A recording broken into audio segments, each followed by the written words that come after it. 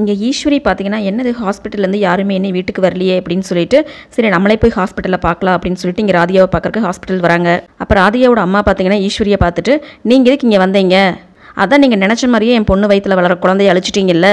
இப்போ எதுக்கு ராதியா உயிரோட இருக்கா? அவளையும் கொள்ளலாம்னு சொல்லி வந்தீங்களா? அப்படின்னு சொல்லி கேட்குறாங்க அதை கேட்ட ஈஸ்வரி இருந்துட்டு ஏன் இப்படியெல்லாம் பேசுகிறீங்க நான் எதுவும் செய்யலை அப்படின்னு சொல்லவும் எங்களுக்கு எல்லாமே தெரியும். நீங்கள் தான் ராதியாவை தள்ளி விட்டீங்க. அதனால தான் அவளுக்கு இந்த மாதிரியெல்லாம் ஆச்சு அப்படின்னு சொல்லி சத்தம் போடுறாங்க.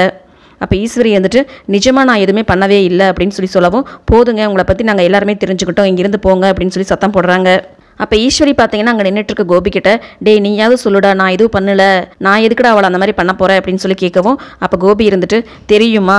நீ தான் வேணுன்ட்டு ராதியாவை தள்ளி விட்டேன்னு சொல்லி எனக்கும் தெரியும். நீ பேசாமல் இங்கிருந்து போமா அப்படின்னு சொல்லி சொல்கிறாங்க அதை கேட்ட ஈஸ்வரிக்கு பார்த்தீங்கன்னா ரொம்பவே அதிர்ச்சியாக இருக்குது என்னடா நீ கூட என்னை நம்ப மாட்டியா?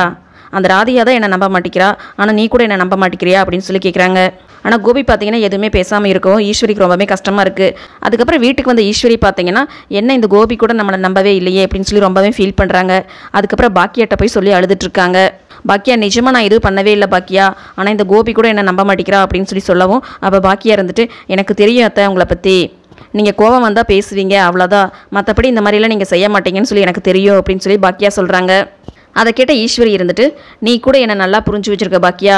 ஆனால் நான் பெத்த பையன் கோபி அவன் என்னை புரிஞ்சுக்கவே இல்லை. நான் எவ்வளோ தூரம் சொல்லி அவன் நம்பவே இல்லை அப்படின்னு சொல்லிட்டு அழுதுட்டுருக்காங்க இதுக்கப்புறம் என்னெல்லாம் நடக்க போகுது அப்படிங்கிறத நம்ம கம்மிங் எபிசோடில் பார்க்கலாம். வீடியோ பிடிச்சிருந்தா லைக் பண்ணுங்கள் மறக்காமல் நம்ம சேனலை சப்ஸ்கிரைப் பண்ணுங்கள் ஃப்ரெண்ட்ஸ் தேங்க்யூ